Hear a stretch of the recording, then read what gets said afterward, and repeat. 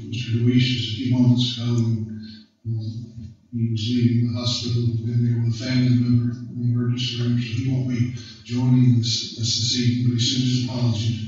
And I, I trust that you'll all keep him and his family in your prayers. Madam Superintendent, we're ready. Well, thank you, sir, and we'd like to welcome everyone that's here with us in person and that's joining us online tonight. And with that said, it is my honor to invite um, forward Minister Terry Stewart from the Blairsville Church of Christ. To do invocation, please rise.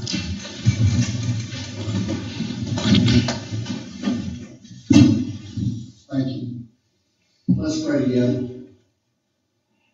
Heavenly Father, we thank you for this beautiful fall day, for the gift of life, Father, that you have given to us. We know that your word tells us that it is through your Son Jesus, through you, that we live and move and have our very being, Father. So we thank you. Father, as we begin this meeting, we ask for your guidance, wisdom, and support. As this meeting starts, we pray that you would be with this school board, Father, today and always, Father. Shannon Miller, as she is the chief executive officer of the schools, her assistants, Father, principals, and those who are in positions of leadership, Father, all the way down to those who are in custodial care, those who feed the children, those who drive the buses, Father. It truly does take a village, and we thank you, Lord.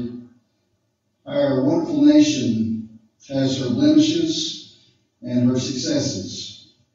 Father, we know that we are not a favored nation, we are one of many. But God, the beauty of this great nation is, is in our education system, Father, we seek to educate all. And God, we thank you for teachers, for support staff, for parapros, for those in the classroom, Father, for those who have daily interactions with students and children. Father, we thank you for the opportunity. It is a calling, Lord. What you give to us, Father, and our talents and our gifts, they come from you. Father, whether we recognize Christendom or not, we know that you have given to us certain abilities and gifts through your Son, our Savior, Jesus Christ, to be able to change our world. Father, now our hearts are mindful of those in the Gaza region and the nation of Israel. And Father, I pray that for those of us who profess Christianity, that we would be patient with those who don't, that we would be loving with those who don't, and that we would seek, Father, to be the light of Jesus.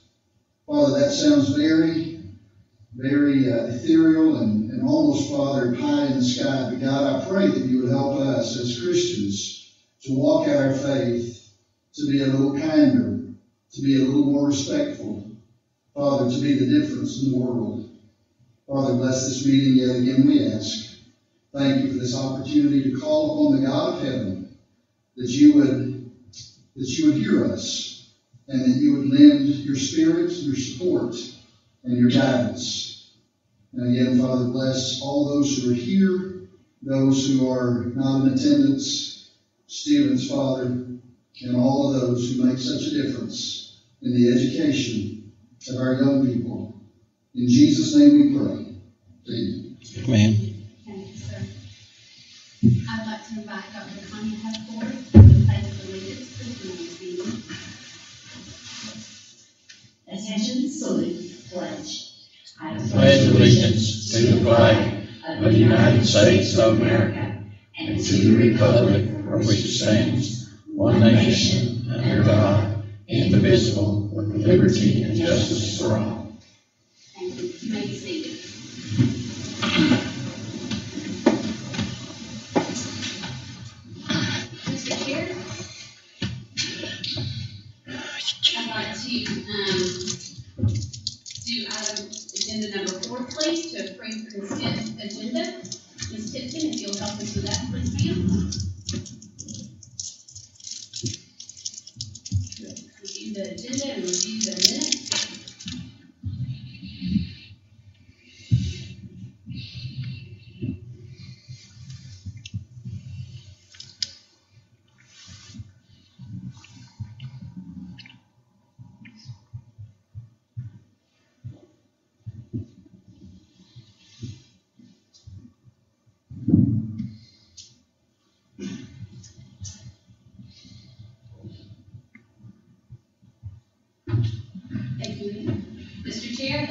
Recommendation to approve as presented.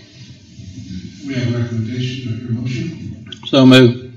We have a motion to approve the consent agenda as presented, do I hear a second? You have a second? Motion and second, any discussion? All those in favor? Vote unanimous, the motion carries. Thank you. The next item on the agenda is something to celebrate, and I'm extremely excited, so I'd like to invite, um, Chief Academic Officer, Dr. Lucas Ruth forward to discuss the twenty twenty-three PSBA exemplary board status. Absolutely. So, gentlemen, um, as you know, uh, a lot goes into this, uh, this status, this opportunity, uh, for, for you guys, for the, for the Board of Education. And so GSBA, uh, there are, uh, multiple levels, multiple tiers, and exemplary is, is the, the best tier that you can be at. That's the highest tier, uh, for our board. And so, uh, I just want to, uh, tell you guys congratulations, and that this is something to celebrate. Uh, here's the press release, uh, Mrs. Tipton just showed the logo, and we also have a certificate, uh, that we will, um, come out, uh, right now for the photograph, or are we gonna? Yes, yep, Right. out All right. So this, uh, as the press release says, um, it's a recognition program. Uh, I, I know that this is a multiple years, uh, we've run this for several years in a row, uh, and it's something, again, to be extremely, extremely proud of. And, uh, you gentlemen should, uh, definitely be honored to continue to, to, to, uh, receive this exemplary board status. And this isn't a requirement by any stretch of imagination. You all choose to participate in this and to, um, attend sessions and continue to learn what it means to, um, assist in leading school district with each other. And, um, you are always Johnny on the spot and ready to do what it takes and to learn all the new stuff. And I want to thank you for that. You are appreciated. I hear stories from around the state, and I can say we are blessed. So, Absolutely. And also, just before I forget, the trophy plaque, if you will, similar to the one that sits in, in the corner, that will come in December. Uh, we want to go ahead and let, let you gentlemen know that you received it so that we can, uh, you know, get the information out there, get the press release out there, and we have the certificate for the voter. Thank you, Dr. Wu, for helping to facilitate that program. We appreciate it, and it's always a joy to participate in those training sessions. Thank y'all. Y'all come around and let's just get a smiling photo for an exemplary board.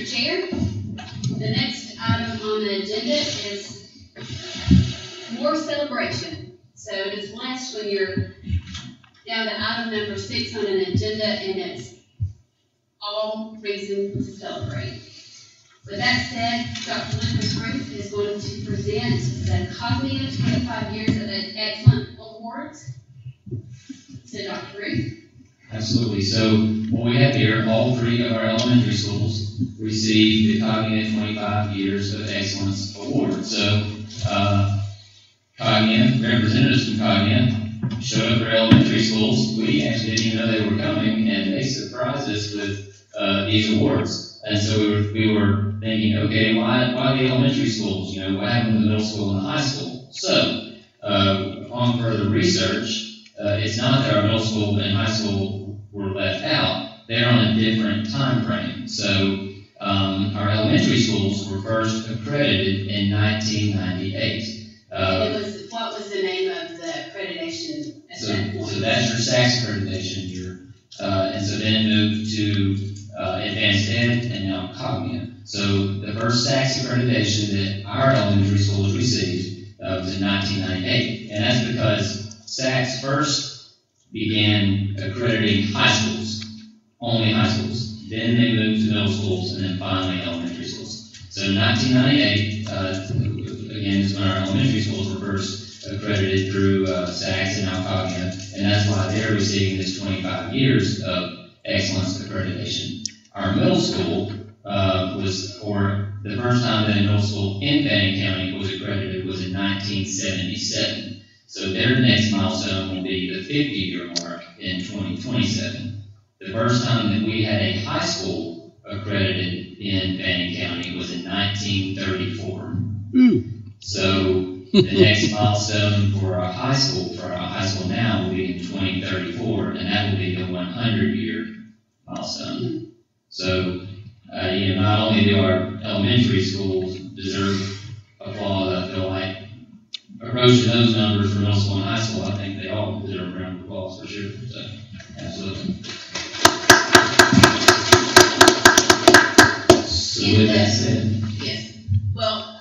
did a little research, not just with the numbers, and then excellent is a hard thing to achieve, but they have maintained it, and I'm so proud of our schools and I'm proud of our history. But for twenty-five years, we did a little research, and we wanted to see who the principals for the elementary schools were for, over those twenty-five years. So at Blue Ridge Elementary, that would be Mark Henson, Brenda Payne, Shannon Miller, Dr. April Hodges, and Mark Young. For East Fannin Elementary, Cynthia Painter, Dr. Michael Watney, Bonnie Angel, Cindy Hicks, Sarah Rigdon, and Matthew Price. And West Fannin Elementary, David Crawford, Glenn Patterson, Karen Walton, Robert Inslee, Lucas Ruth, and Allison Danner. So, um, it was fun looking at that history and, and just realizing that we don't do anything in isolation. Like, we have built on, you know, each year on the past successes of those that come before us, and I hope that we continue to do that tradition. So, with that said, Dr. Ruth will get the current rock stars that's doing the hard work to come down. absolutely, elementary school principals, please bring your, uh, twenty-five years of Cognia excellence with you. Those flags that I continuously send you text messages for you not to forget to bring. Right. And more while they're getting their plaques, if we go around front so you can have your photo with them. Y'all are way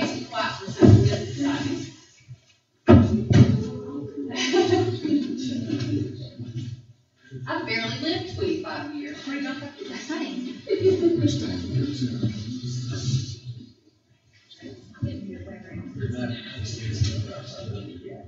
All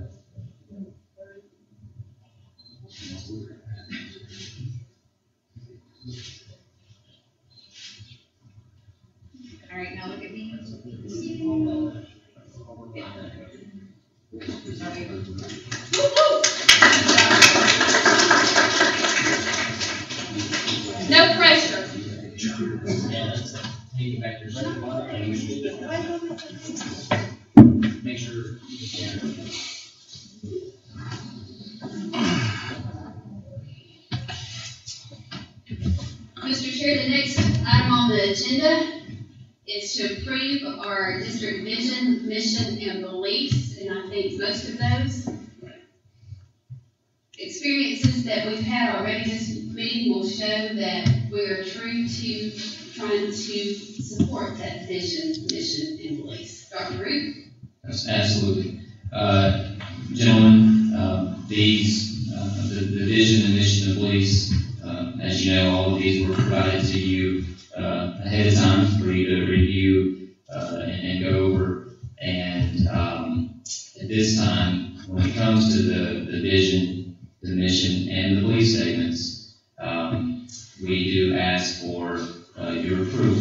I will say that these have been vetted through our district uh, and school improvement team. We spent essentially the entire last year, uh, starting in last September, October, all the way to now, to analyze these, think carefully about them, and, and, and make sure that, that they truly fit what we're trying to accomplish in our school system. And so, uh, with that said, these uh, do come to you at this time uh, to humbly ask for your approval. With that said, I'd like to make a recommendation to approve as presented.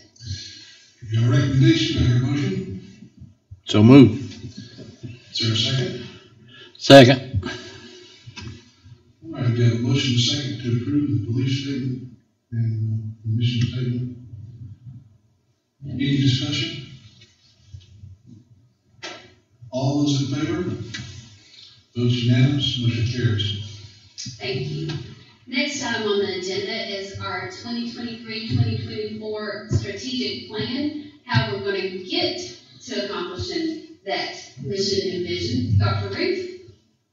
Absolutely, and, uh, the same process, uh, similar to the, the vision, the mission, and the beliefs, when it comes to the entire strategic plan, uh, this entire plan was also vetted by our, uh, district and school improvement team, all the members of that team, um, and, uh, carefully analyzed and, and carefully reviewed, again, to make sure it's truly capturing, uh, the goals that we like we want to have along with those action steps. So, Mrs. Tipton, there we go. So strategic goal one, I'm not going to through every single action step. Again, as you gentlemen know, this was provided to you, uh, in advance, uh, for you to review, uh, ahead of time. Strategic goal one, though, is attaining a high level of student achievement.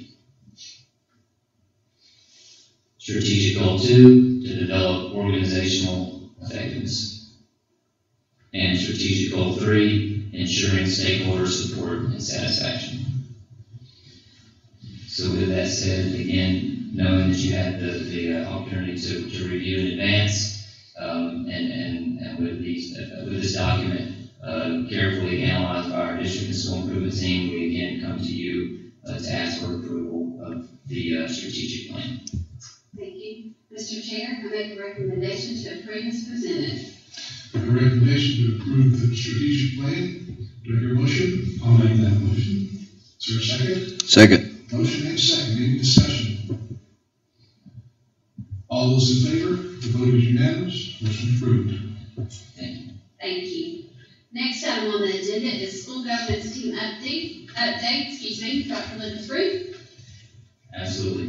So, uh, we, uh, at Blue Ridge Elementary, we did have, they had a meeting, uh, September fourteenth, and again, these are all the meetings that took place in between the previous board meeting, uh, that, that made it onto the document, the previous board meeting, and now, this board meeting. So, Blue Elementary met on September fourteenth, uh, had two field trip requests, and, uh, there's notable work, uh, that took place, uh, at, uh, at Blue Elementary. They had Title One, Two, and Four budgets approved, and then, uh, discussed, um, you know, many important, topics there, at their SGT. East End, fundraiser requests, they had those, three of those approved. And then, uh, also, uh, Title One was approved at this meeting, uh, lots of discussion took place, uh, as you can, can see.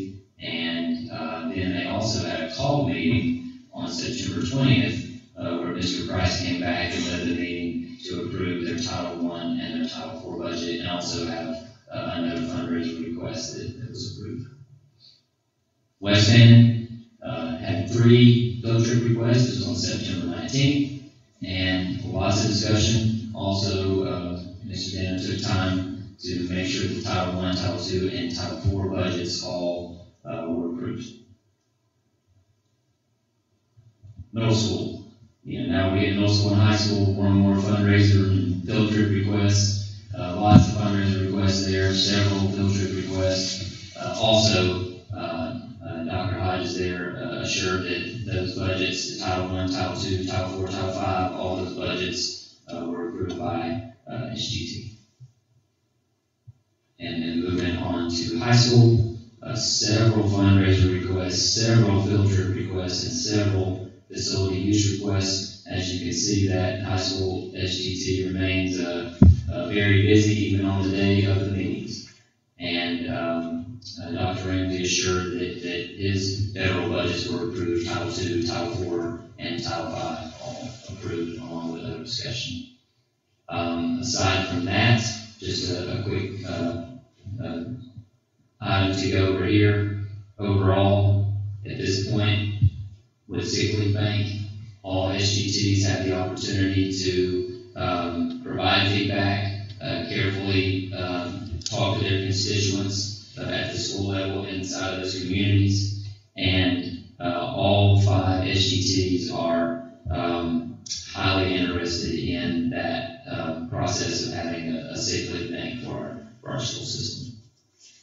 So they're interested in pursuing to review different policies. Absolutely. See the impact on our school systems. Absolutely, absolutely. So that's, um, just, again, want, want to give them the opportunity to, uh, have a voice there and, and be able to have a voice of, inside the school community for each school.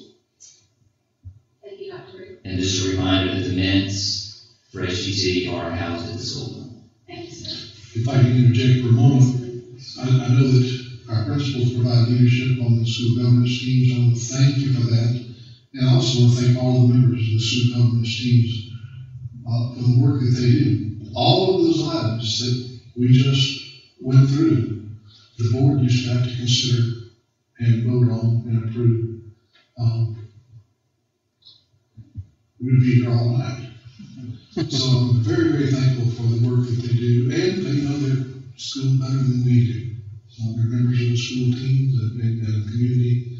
Uh, so thankful for the school governance teams and those who are willing to serve. Absolutely. Thank you, sir.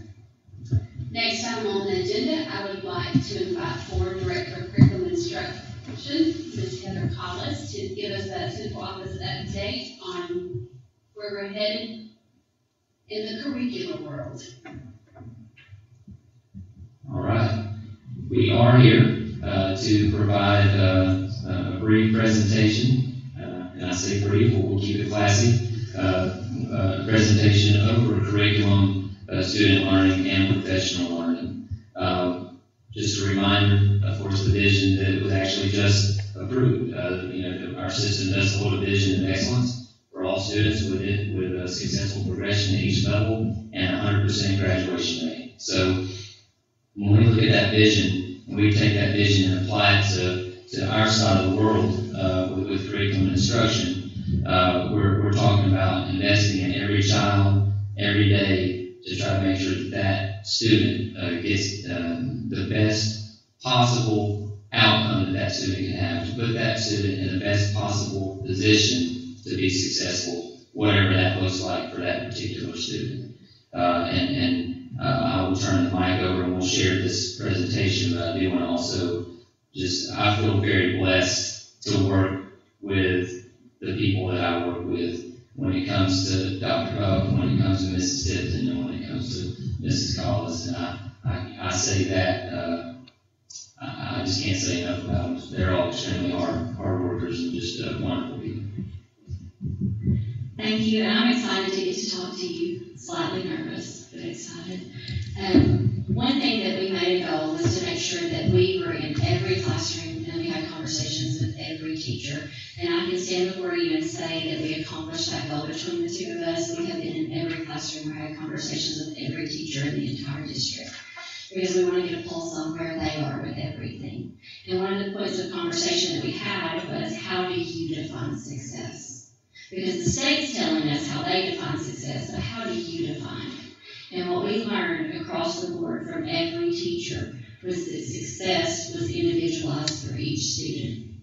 And the thing that threaded the needle throughout all of it was growth, improvement that students learned while they were with them. And if so, then that was success.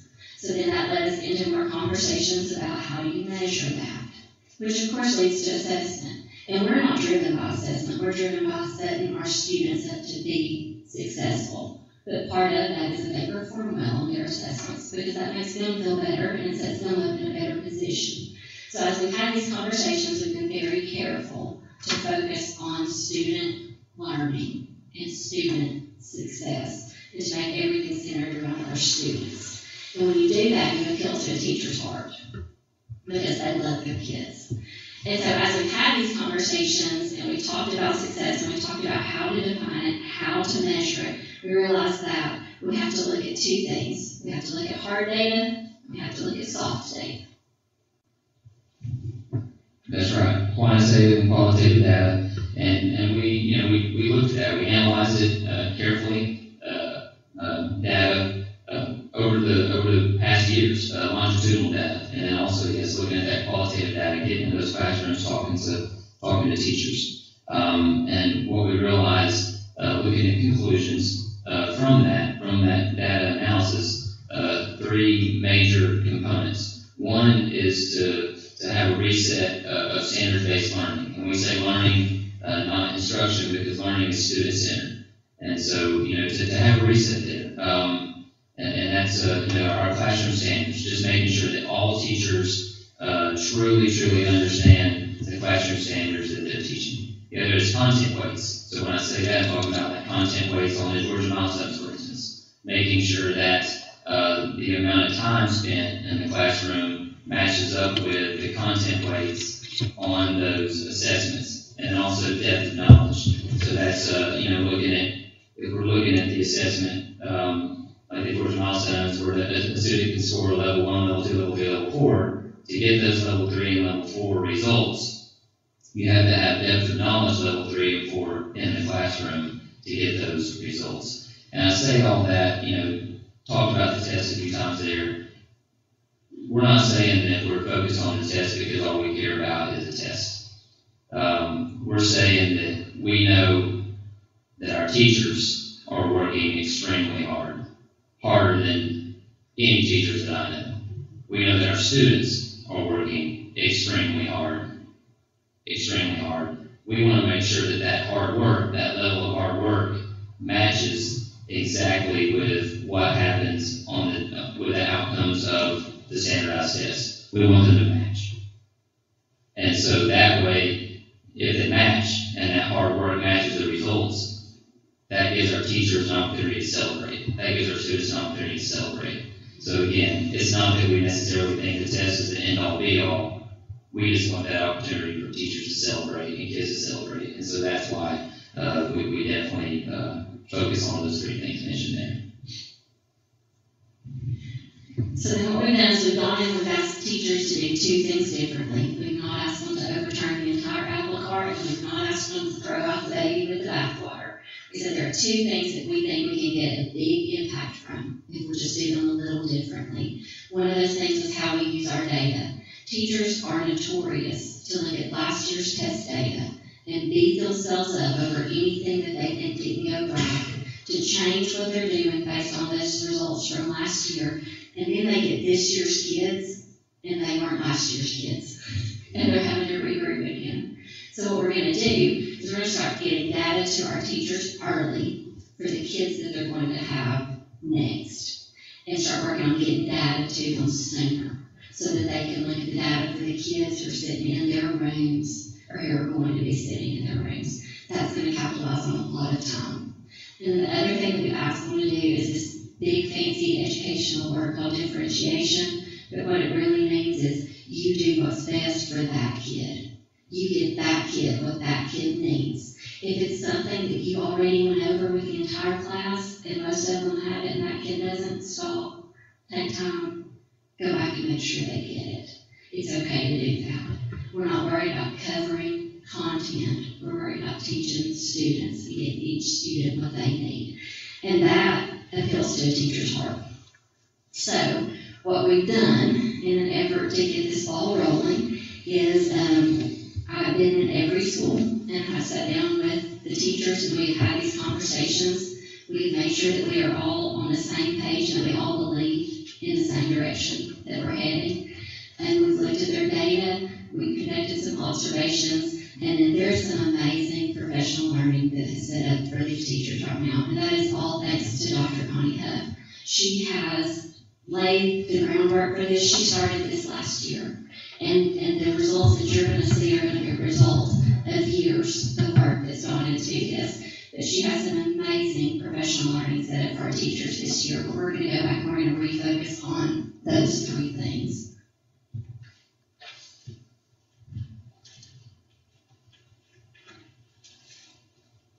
All right, so the, the previous slide showed the professional learning. Uh, again, no reason to, to stand and list all those. Uh, we, we, again, we'd be here all night like you were talking about, but we do have amazing professional learning lined up. Uh, how do we get there?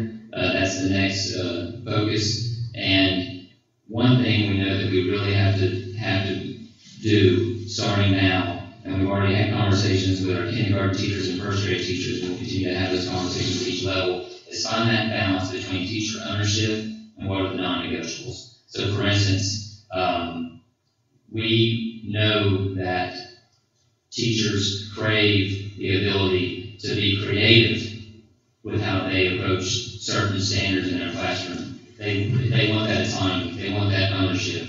At the same time, though, we know that there are certain things that we have to put in place, for instance, that all kindergarten teachers must do in the Fannin school system and all fourth grade teachers must do in the Fannin school system, uh, so on and so forth. So we want to really focus hard on, on finding that balance. Uh, kindergarten, first grade teachers have already let us know that the, the phonics instruction, the phonemic awareness, uh, instruction that, that, that we, that we brought to the table, that our academic coaches and Dr. Huff brought to the table, they want to keep that as a non-negotiable.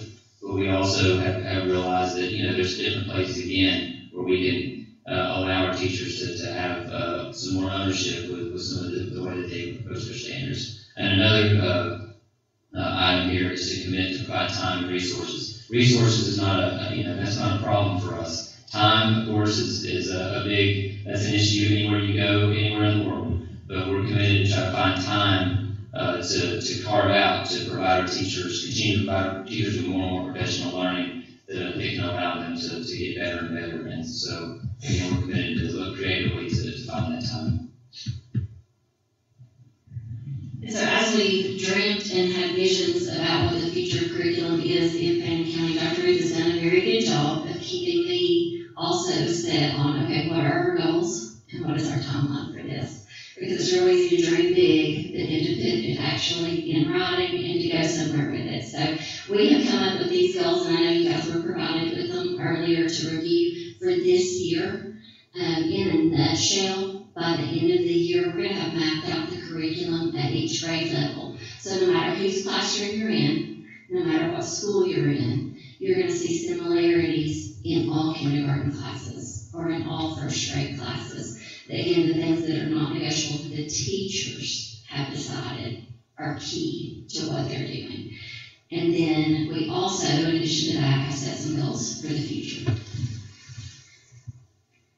Absolutely. And so goals for the future, uh, and that's, uh, over the coming years, uh, implementation of standards-based learning, and that involves benchmarking, uh, data analysis and different, uh, differentiated instruction, and to continue our data days, and to refine curriculum maps to encompass all levels of learning. And so those curriculum maps, again, those are powerful, those provide, all kinds of opportunities for our teachers when it comes to, uh, instruction and, and to refine benchmark assessment, use, and differentiated instruction at each, at each level. And just the overall message that we want to hear everybody say in Fannin County is that we teach students. We don't teach standards, we don't teach a test, we teach people, we teach kids. And so hopefully that's going to be the feedback that you all are going to hear as well. Thank you. I'm extremely proud of this administrative team on the district leadership, the principals at the schools, and your um, administrative support at your schools, your assistant principals. The real work though, and where the rubber hits the road, is in the classroom with that classroom teacher. And the only reason we exist as administrators is to support them in their work and to clear the runway so that they can do the real work that needs to be done. And I am blessed to say that every administrator sitting in this room and those back at the school share that belief because you show it with your actions. And I just want to take a moment to say I appreciate you for that and thank you. It's music to this board member's ears. uh, Thank you, Mr. Chair. Next item on the agenda is one of my favorite items that we have every month, unless it's school happens. Ms. Allison Tanner can tell us all that's happening in West Van. Well, there are lots of exciting things going on at West Van, and I just like would like to let you know how much an honor it is for me to be able to extend to you guys the things that are going on at West. I would like to say, just as Ms. Miller had just said, that we get to stand up here and present to you guys all day long about the things that are going on, but who really needs to be here presenting to you are probably our students and our teachers, because they're the ones that put in the work daily that make these things happen. Um, so, we just want you guys to know that that's where the actual success is, as Ms. Miller had said. Um, with that being said, we'll go ahead. Um, together, we're unlocking a world of possibilities, that's our focus at West Fannin this year, and it was kind of as I was sitting and listening to Ms. Hollis and Dr. Ruth present, our word for the year was intentional, and we want to make sure that we are being intentional and getting to know each of our students, that we are recognizing our staff members and knowing their individual differences and the things that they're going on and what we can do to clear those paths for them, and also getting to know our parents and our community that's surrounding our school, because without those three things, we're not gonna be successful. So we sit back and we think, and I want to just, again, let our district know how much we appreciate, because I think above all years that I've been in administration, our teachers and our staff are truly feeling the intentionality of the things that are going on within the school, and that they are being heard, and that you guys are considering all the things that they're saying and how much they appreciate that. So, thank you. All right, so we have lots of new staff members this year. I feel like we hit the jackpot when we started selecting this. It's not often that you get to hire, uh, ten new faces, um, to a staff. Actually, it was eleven, and we've already lost one of those, but we're at ten. Um, and how exciting it is to know that when you find that many candidates, you are successful at each of the hires that the board allows you to do. So, we have Miss Amy Allen, who came to us, um, just from a neighboring county, and she's teaching first grade. We have Miss Jennifer Danner, who's bringing to us a whole new perspective on the art world with her knowledge of that area. We have Miss Tiffany Herb, who is not new to the Fannin County school system. She has played several roles, but has completed her teaching degree, and we're glad to have her as a third grade teacher. We have Mr. Andrew Ladd, who was a Fannin County graduate, but was in a neighboring county and chose to come back to us. We have Mr. Raymond Mull and Miss Caitlin Snyder. Miss Caitlin Snyder was also a Fannin County alumni who chose to come back to us. Miss Bailey Stone, and then we have Mr. Tony Siriani, um, Kristen Hunt, and Ms. Hannah White. When I look at these, you know, some of these people I actually called, so now that they're teaching us, that makes it a little hard to um, take them, but it's okay. They're doing a great job, and we're very excited. A couple of them sometimes get confused with the kids, but that's okay too. Um, they're doing a phenomenal job, and I just can't brag enough on them that the energy they're bringing to the school, so.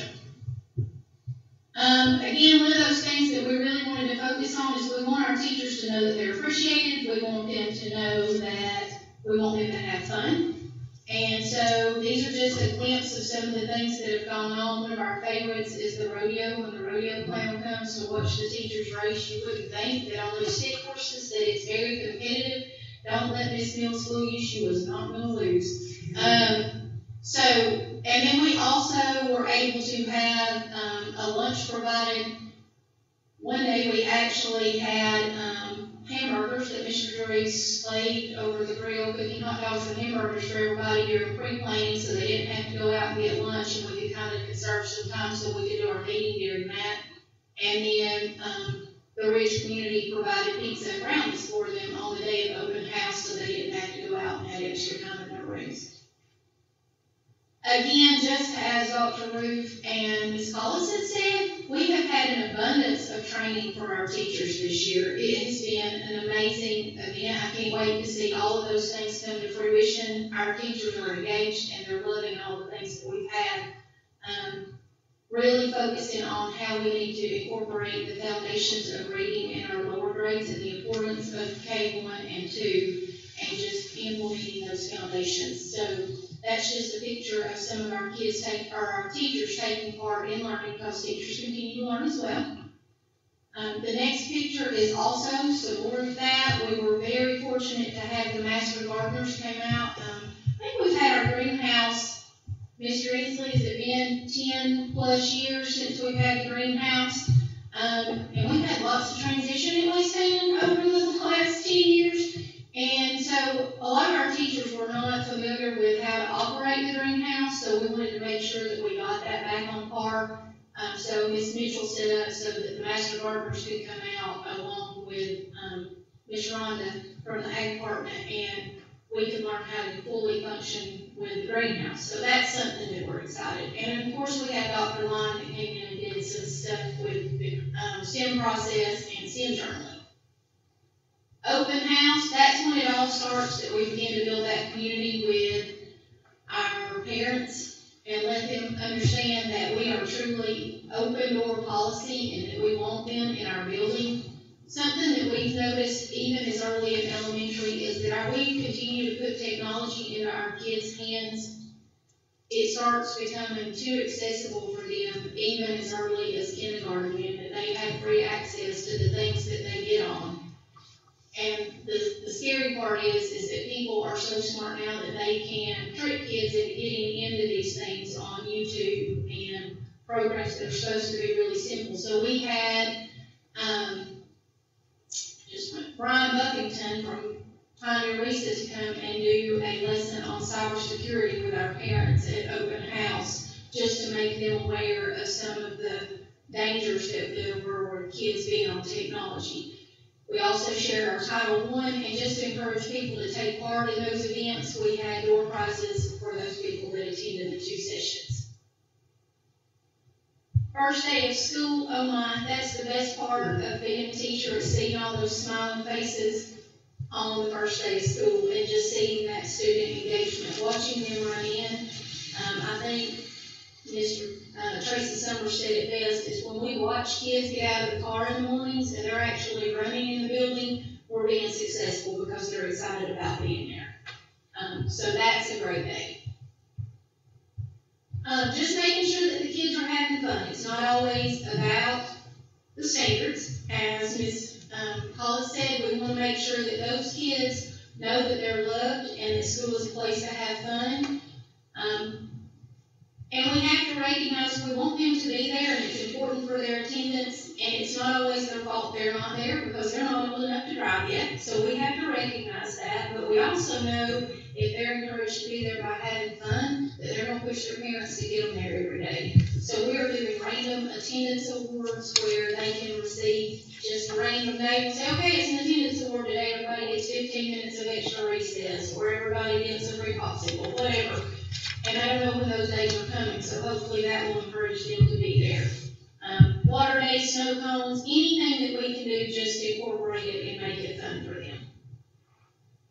Just a glimpse of some of the activities that they get to do in specials. Um, again, writing on, we've had lots of transition in those positions as well. Um, new PE teacher, um, Ms. Ladd is doing an amazing job with those kids watching the kids skipping into school now, they're learning to skip. You wouldn't think that kids didn't know how to do that anymore, but there's so much of that technology stuff that a lot of kids don't know how to skip anymore. So, um, did have a picture of Mr. Drury actually skipping with them too, but I didn't put that one on there. Um, so just watching them learn those things along with learning about science tools and music and having the older children come in and read to them in their classrooms. It's just enjoyable watching them grow and all those things as they have those experiences. Then we take them outside to experience outdoors. We have our frog bog, which has finally come to fruition. It's been full scale now. It actually has water running, filtering through. Um, first grade, that's one of their projects, they actually have put tadpoles in and we have frogs now. Um, we may have a lot of frogs, because there's lots of tadpoles in that pond.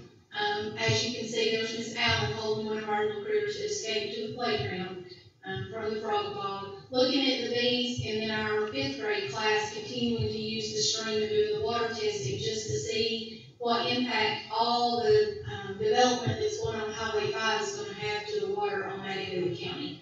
So, lots of exciting things. Parent engagement, we are so fortunate with our parents at West Fannin, um, and continuing to build those. I think our PTO is at an all-time high, the number of participants that we have in that.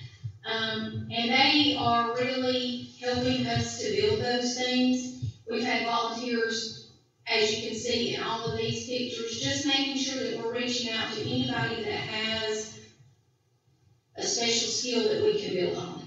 Um, so we continue to do that. Again, our PTO supports, if you want to go ahead, um, our PTO really supports us in having our mornings with moms and donuts with dads. This idea was brought to us by one of our parents a couple of years ago, and our PTO took it and kind of ran with it.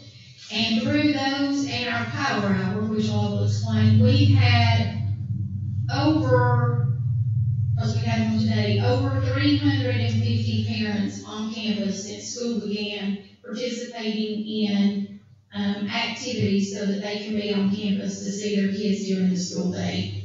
Our power hour is where, um, parents can come in, we do it by grade level, they get to eat with their students, and then we pull them aside for ten or fifteen minutes where they get to talk with the individual teachers about things that are going on in the classroom, answer questions about curriculum or anything else that they may have. Family literacy night is always a big hit when we're doing our book fair. This year ours was unlocking the world of possibilities for reading. So each child received a passport and they had to participate in certain events. And once their passport was complete, they received a medal for participating in the overall travels. So that was exciting.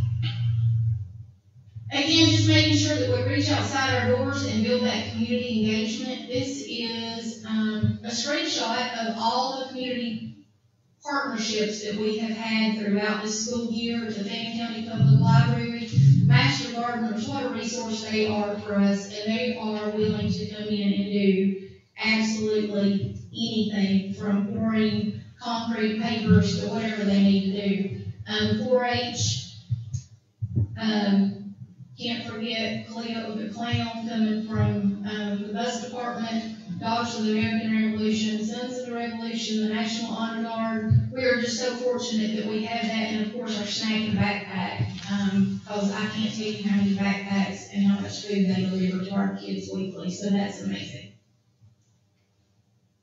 And then we have SPLOST. Oh my, what transitions we have had at West Fannin. So I think one of the biggest things that we had accomplished this year that looks amazing is, which I heard, we took a little history away, but we were gonna make history on our own if we didn't remove those bleachers, because they were a little dangerous. Um, so we had the concession stand and the bleachers removed that were formerly there from when West Fannin was a high school. That's memories for me too, because I cheered on that field, so I get it. Um, my dad played football on the field, but it was not safe anymore, so we have had that removed, and now that area is completely fenced in. It's beautiful, and it just provides us an area that our kids are able to be outside and they're safe. Um, without the SPLOST, we would not have been able to do that. We're also able to fence that in, so coming down Damascus in the front, it is completely fenced in, secure, so the kids are safe in that area. Um, again, just to make sure that we're looking at, um, renovations to the school. Um, we had our floors redone in the cafeteria. Wow, what a change that made. Heard nothing but wonderful things about those. Um, it looked, one of our students actually said it made our cafeteria much more appealing. But, um, and then we did some safety features that we don't care to go into detail about because then they wouldn't necessarily be safety features. So we have those. And then last but not least, we are honored to have Miss Katie Robertson as the Fannin County School System Teacher of the Year. So Katie was actually her first year teaching, she took over my classroom. And I probably shouldn't say this, but at the time she was actually dating my nephew as well. Um, so to watch her progress, she was my child's kindergarten teacher, so to watch her progress and to grow as she has, is amazing. And I think one of our students said it best. Um, sometimes we think that our kiddos aren't able to really truly say what they have. But we had a student that wanted to show Ms. Robertson her appreciation and how deserved she was, so she wrote her letter and left it hanging on her door the next morning. So I was just gonna read that. And it says, Dear Ms. Robertson, I never had you as a teacher, but I know from friends that you are an amazing one. In first grade, I wanted you so bad, when I did not get you, I was so mad. Good job on getting teacher of the year, you deserve it. Um, this comes from Ms. Willow Stiles, and to know that our kids still feel that way about our teachers, I think that is what makes us do what we do. And that was probably better than any award that Ms. Robertson could receive is knowing that a student felt that way about her. So that's just a glimpse of what's going on in West Bend, and I appreciate you for giving me the time to share. Thank you. Thank you very much, Mayor. Um, I understand the concrete bleachers might be nostalgic, uh, we had the same issue at the high school, and I personally witnessed several people fall. Uh, thankfully, they were not seriously injured, but they were injured. Those little concrete bleachers do get dangerous, and that looks, looks much nicer and certainly is much safer. Congratulations on all of those accomplishments. That's, uh, sounds like everything is working very nicely in West Bend. Thank you. Mr. Danner, do we have any public comment? Uh, no, ma'am. All right, with that said, then on to agenda item number thirteen, and facilities update. Facilities update, uh, before we get on the slides, uh, practice department, as of yesterday morning, five hundred and seventy-two work orders since July the first. That's in sixty-nine work days. That's, uh, eight point three work orders a day, so again, practice department's, uh, yeah, they're, they're.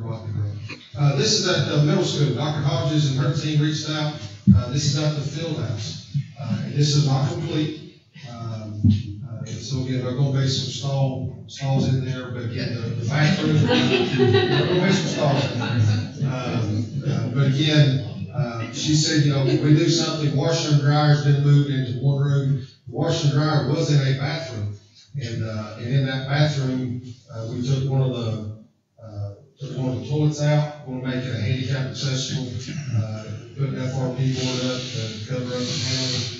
Uh, and again, I, I said I wouldn't do this, but again, Dr. Hodges and, and the middle school used some of their SPLOST allotment, uh, to put the, the new flooring in the fill house. And, uh, but again, you know, during all that project and everything, but the bathrooms needed to be done. So again, I, I that. Uh, Glenn Harbison reached out and wanted to know, get a little timeline on, on the, the stadium project. Just give me a, a sort of a somewhat idea, so I give him credit for this. On May the twenty-fifth, that's when we purchased the property at the high school. Um, the hundred and uh, fifty-four acres and everything. So planning begun. Uh, again, the board and the, the, the system was very fortunate to purchase an additional property that, you know, that, that attached to that other hundred fifty-six, go ahead, Mr. Uh, so again, an additional sixty-six acres. So again, planning again, uh, sort of changed a little bit. Uh, didn't change, but again, we sort of expanded.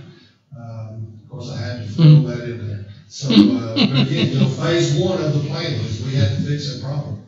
So, uh, uh, so back in May nineteen of twenty twenty-three, uh, the board approved the stadium drain project. That I completed over the summer, just prior to the school beginning. And, uh, Steve. So we just a couple pictures there, just as a reminder of what, what that took place. Um, then, you know, just last, you know, a couple weeks ago, uh, the board approved the, the ag greenhouse, and then we had a groundbreaking there at the ag facility. And, uh, and again, had to put the kids in there because the, the smiling faces. So again, and then, just last week, we had an athletic ground, uh, groundbreaking over at the, at the stadium. And, uh, and again, had the kids in there. So what, what you see there is pictures of each sport. That's the tennis team and the senior representative and the coach, softball and, and the senior representatives, that's baseball, coaches and their senior representatives. And, and again, just uh, had to put the, the conceptual drawing up there, uh, had, a- had a great meeting, uh, you, uh, our architect and our, our CM, again, just moving forward. Um, Again, you know, everything takes time, but again, very excited what's, what the future holds. Thank you, Mr. Gainer. Okay, Mr. Chair, item number fourteen is to approve freezer as surplus property.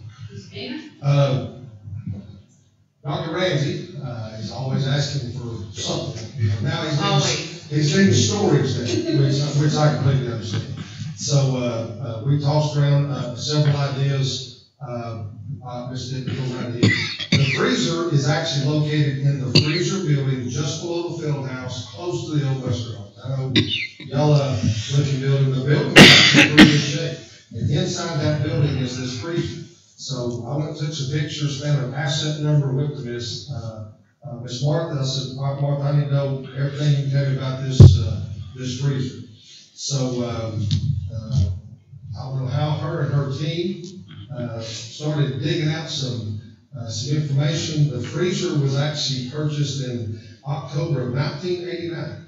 Um, and, at first, uh, uh, Martha talked to Candy Citizen, Candy Citizen said, hey, that's before my time, it's gonna have to be Miss Mitchell. So at the teacher of the year banquet, Miss Mitchell was there, so I, I, Miss Mitchell, when did that take place? She said, hey, that was before my time. So this was prior to that. So again, purchased in eighty-nine, was taking off of actual inventory in two thousand and two. So again, that freezer just sat down there, so I got maintenance come over, got Mr. uh, Mr. Farley come over. I said, Mike, can we use this thing? And, and, uh, he just sort of gave me that look. And I said, we just need to get rid of it. He said, well, no, wait a minute. And we had a couple of maintenance guys there who, uh, who like to hunt. And they said, hey, you might, you might get something out of that. These people that has these places in Kentucky and whatever.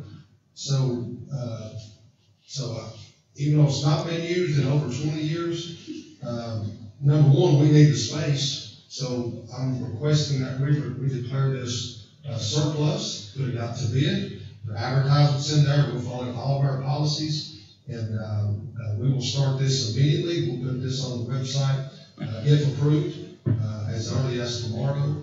And then, uh, hopefully in November, we'll come back with some sort of, of offer from the community. Uh, if we don't get any offers on the community, uh, we'd like to declare it salvage, so we can get rid of that information, or get rid of that area, and get it cleaned up, turn it over to the high school, and shut things up for at least two or three days. Minutes. Minutes, a couple of minutes. Mr. Chair, I'd like to make a, um, recommendation to approve as presented, please. All right, we have a recommendation to approve the freezer as surplus property. Do I hear a motion? So moved. And a second. Second. Motion second, any discussion? All those in favor? Votes unanimous, motion approved. Thank you. Next item on the agenda is to approve to extend the property manager agreement. Mr. Gainer? Uh, yes, ma'am, in twenty-one, uh, again, you know, we come to you uh, to have somebody, uh, we actually put this out uh, to the public. Uh, we had some people, uh, make requests uh, to be our property manager.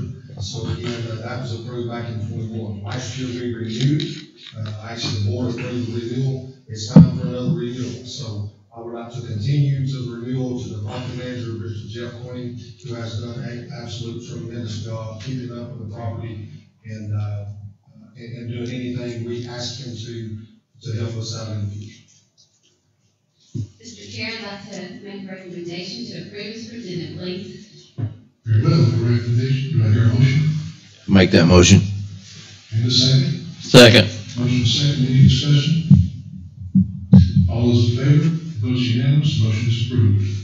Thank you, Mr. Gainer. Mr. Chair, agenda item number sixteen is to approve district financial reports, and Ms. Quinn, you will come and make your presentation, please, you. Good evening, Madam Superintendent, Board.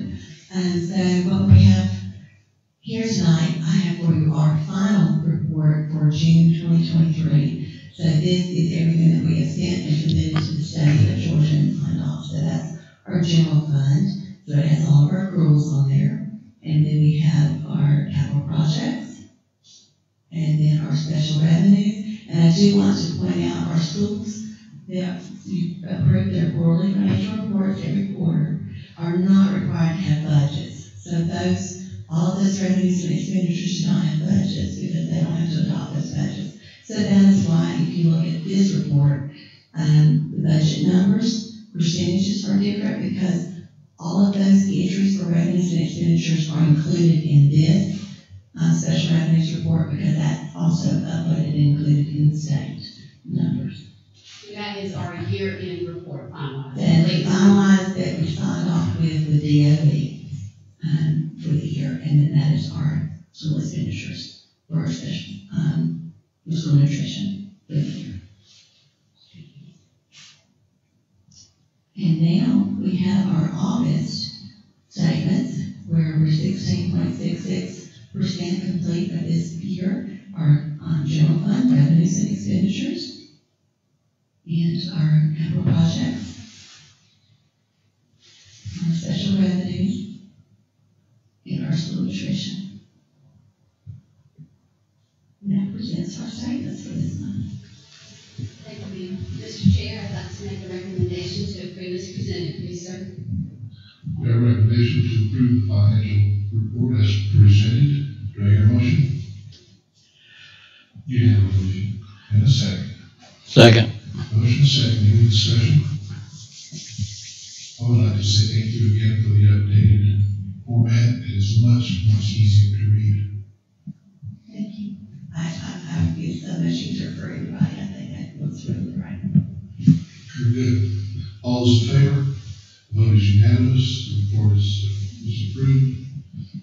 also like to mention that it's difficult to read that scrolling on, on the screen,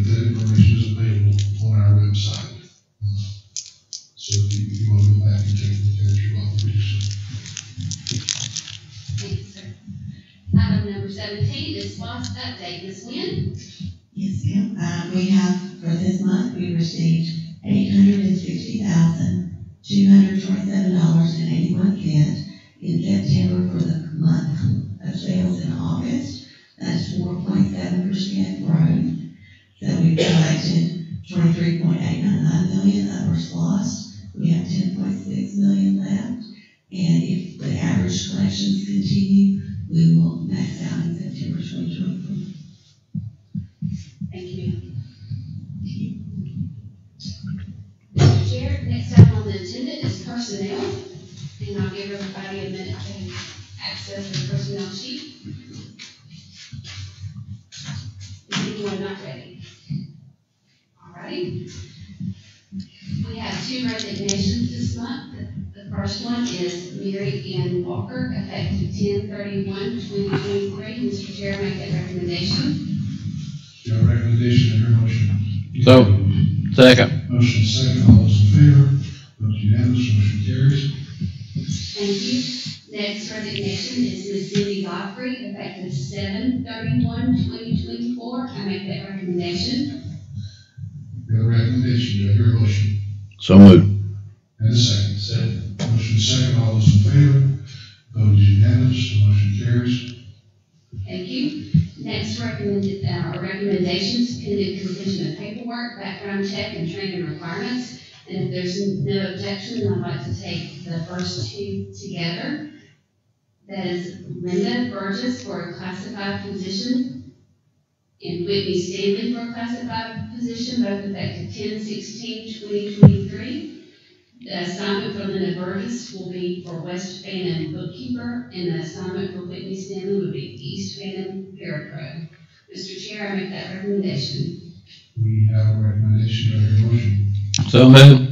And a second. Second. Motion and second. All those in favor? The vote is unanimous, the motion is approved.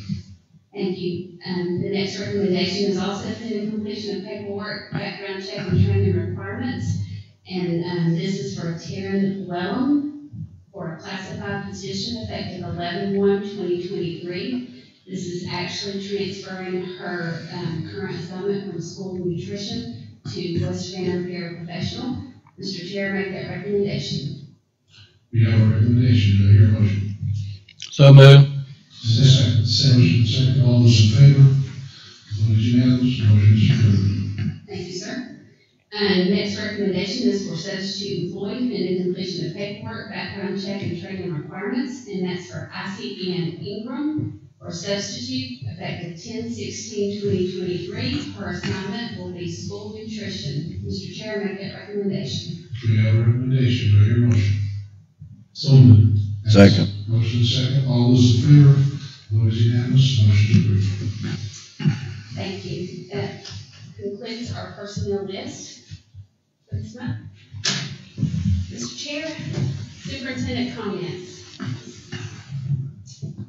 And there's so much to comment on, there's, um, when I sit and reflect on what happens between one board meeting to the next, I'm always amazed at all the work that everyone does. And Ms. Danner said, that work starts and ends and concludes and culminates with the teachers.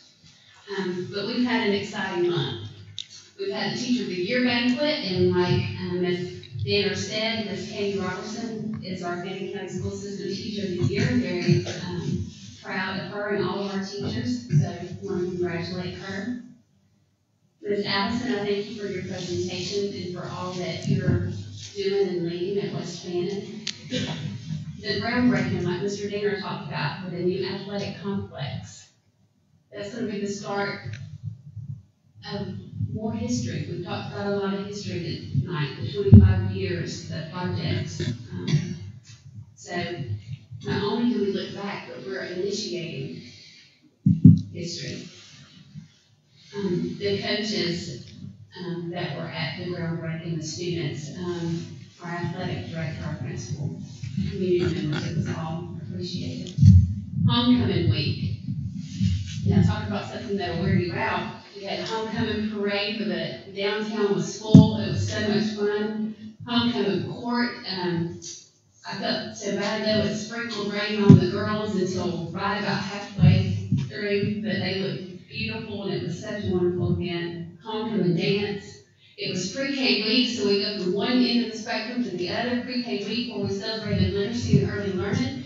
Um, we were able to go read to the little ones, and, um, there's a couple of directors that I won't necessarily point out, but I don't think they had classroom management of four-year-olds, because they come back and told me how their book was stolen from them by a four-year-old, and then they went and laid on it, and they had to rodeo it up, Dr. Huff.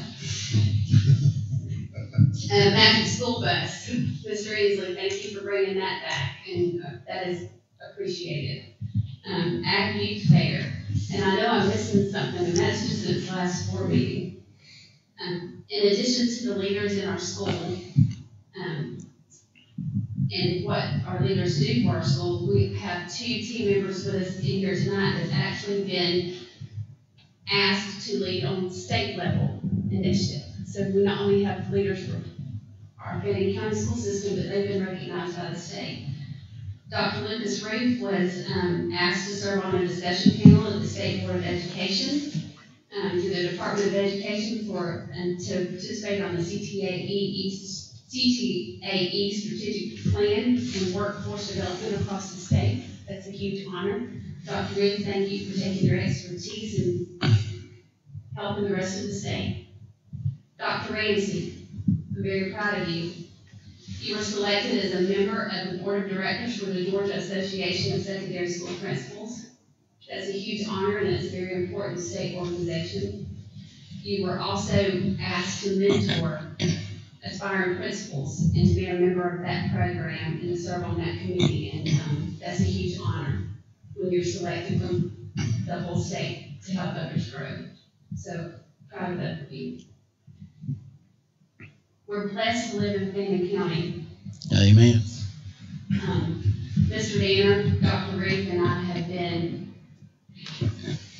going to talk to different civic organizations, and we've been having an opportunity to tell our story and to talk with people. And, um, we say the community is wonderful, but we've experienced the community is wonderful.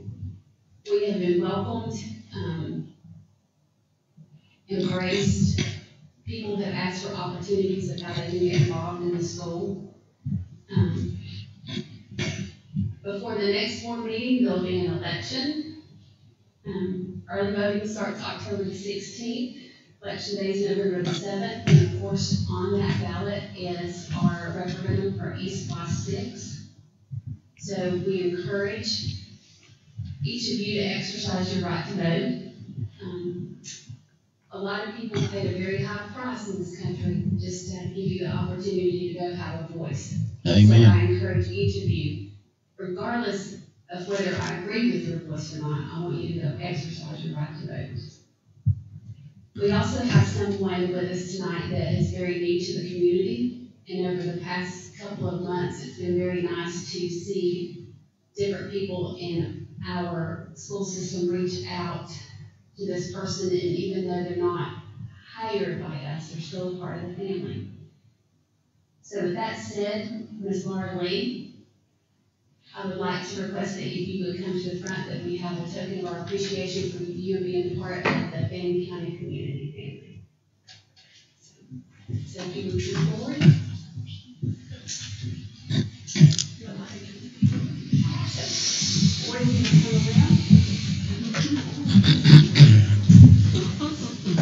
Laura Lee, you have shown your kindness, and you have been, you have been with us as much as we've been with each other, and you've gone out of your way to make sure that information is correct, and so on behalf of the Fannin County School System, you. Now, you can tell us where to go.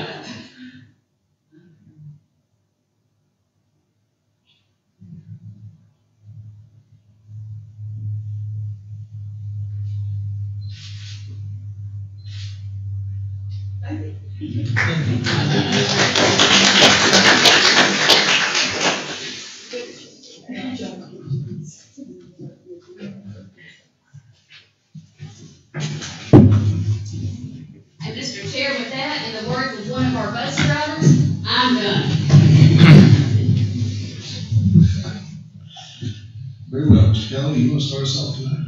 Sure. We say thank you to everybody that's expressed here tonight and those that are watching. We do appreciate y'all. I thank you very much. Um, I want to take my time and just thank a couple of people. We say first of all, Greg Jones, because your first time, good nervous for me, we didn't act like you did, but you, you did great. And of course, you got Lucas's help, so. I'm Barbara now. Oh, okay, man. All right.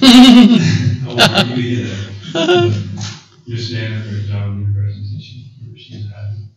She, while, while she's hiding behind I'll say congratulations, you got her name.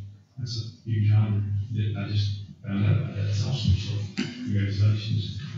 Um, I want to say it was a wonderful, wonderful day, groundbreaking, all the hard work that a lot of Darren and his team and everybody's done to get to that point. It's been amazing. I'm super excited about the future of that. And we get to see the property come, all around us get to use it, so that's been a great, great thing for me here in Nashville. Wow. Um, But I do appreciate each and every one of you, y'all, our family, we love you, so thank you, God bless you. It's hard to follow Miss Miller. she touched on everything. But anyhow, I've thoroughly enjoyed our meeting this evening. Really have. Uh, Miss Collins and, uh, Miss Danner, I don't know why you're nervous. You're among family. You know, if you make a mistake, we'll just lag and go on. You know, that's the way it is here, I hope, and I think it is.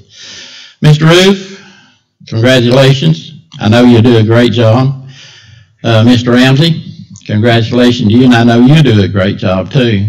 Congratulations to our uh, elementary schools on your award. Uh, you deserve it.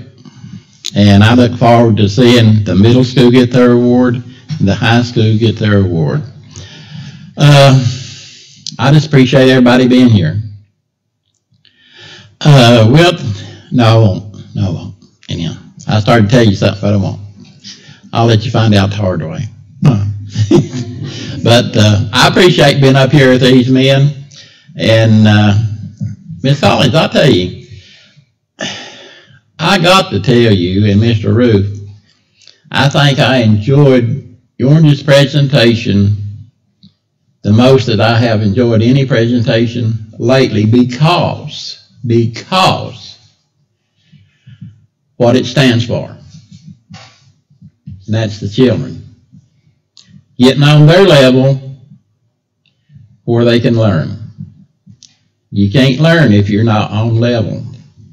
And you know it for sure. You've been in the school system long enough.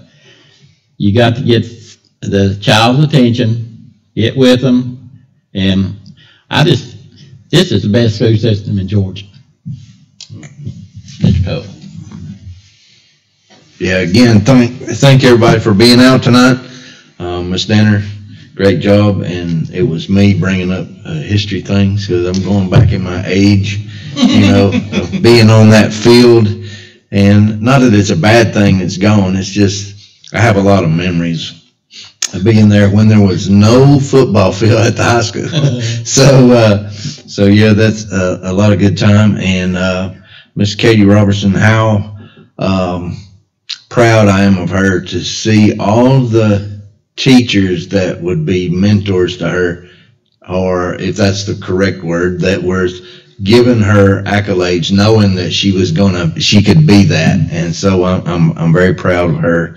And, uh, the thing that I, I'm seeing lately is, uh, you principals, uh, can tell me if I'm wrong, but student morale is like through the roof. I mean, I've been to the elementary schools, to middle school, to the high school, and just our last work session, the two young ladies that I had, you know, I've had students in the past that impressed me, but I had two young ladies that just went over the top. Best, best time I've had with them. And everywhere you go, just morale is, is up. Um, you, y'all know how much I want vocational, that's what I call it, that STEM building up there to be productive, but I see so much excitement in those rooms when I go in there. There's, those kids are so excited. So I think it's, it's at a high level and, um, I see the band, you know, it's not as big as it was when, when I was in high school. But look at all the, uh, extra acti- after-school activities that we have that are going on that so many kids are involved with because uh, and it's running um, so efficiently that uh, I- I'm, I'm just grateful for all the the things that they have available to them and uh, to see them excited about it. And uh, it's just a I think we what is it? The best place in this United States of America to live is Blue Ridge Georgia and so Y'all have a blessed evening and, and thank you for coming up. Well, they didn't leave a lot for me to add. But I will, um, add congratulations to our elementary school principals, uh, to Dr. Roof, Dr. Ramsey, thank you for representing us so very well. Um, Exciting to hear the results of your study and your, your report tonight, uh, moving forward with our, with our approach to teaching. Uh, we know that there is a need for assessment, but recognizing that all of our students are individuals and they learn at different rates and different ways, we're getting to the heart of teaching. So thank you, and so excited to hear that focus moving forward. Want to congratulate, if that's congratulations not the right word, some of the planning is coming to fruition. Uh, Mr. Danner has done an incredible job Amen. and these projects don't happen overnight. This has been years in the making, the planning process, the layout.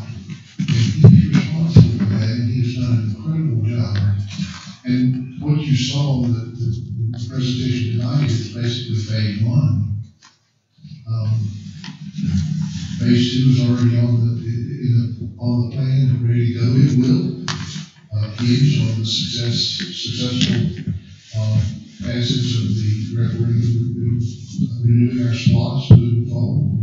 And we're so very thankful for that. Um, It's allowed us to have the lowest education delivery in the state of Georgia.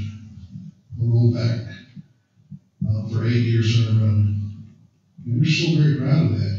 And I will tell you that any school system I have talked to in the state of Georgia is very envious that we are debt-free.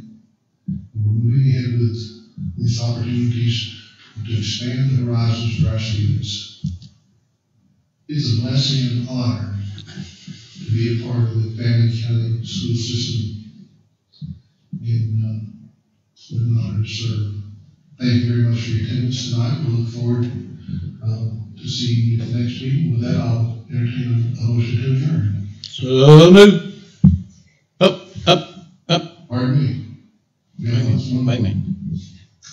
Miss Miller, uh, Mr. Hartson just got here, he's gonna, y'all never get through this, uh, so, uh, can we get one more picture with Laura Lee? Sure. Five, five minutes. You want to go ahead and adjourn the meeting? Yeah, let's go ahead and. Okay, we have a second? I need a second. Very well. Uh, all those in favor? You stand adjourned, yes, we will have that photograph. Thank you.